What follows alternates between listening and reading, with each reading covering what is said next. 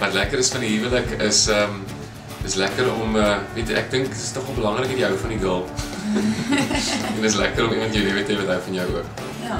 Vir my is dit lekker om te weet dat dat hulle vertrou my met diewe en ek syne En dit is my so lekker om in die middag huis te ry en te weet ek het die regte man vertrou en hy is op my my heel beste vrou. So ver het ek ook nog nie regte Ek is getroud met hierdie mooi man. Ons is beste vriende. Ek deel my hart met hom. Ons gaan stap elke middag en dan selfs ons kuier ons 40, 45 minute non-stop. Okay. En die kamera. Jy? ja. Ek dink huwelik vir my lekker omdat daar elke dag nuwe uitdagings is. Ehm um, mens kan beklei, maar die opmaak is ook lekkerder.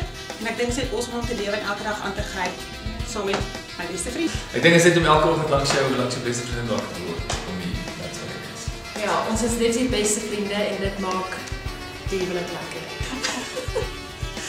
Hierdie jaar word ons huwelik mondig en almal weet daai harde werk wat jy met 'n tiener doen voordat hy mondig word. Daai harde werk het ons gedoen en baie hoogtepunte en moeilike tye saam beleef, maar besef daar's nie 'n geveg wat meer die moeite werd is om te veg as hierdie ene.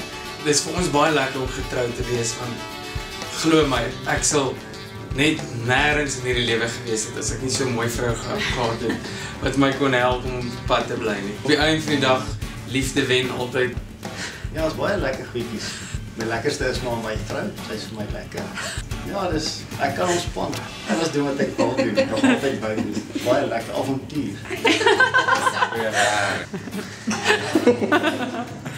Okay, ons maak mekaar se sinne. Klaar. Van 1 tot 7 September is dit huweliksweek. So, vertel almal daarvan. Kry jou plakker in en 10. En dra dit met huweliksweek.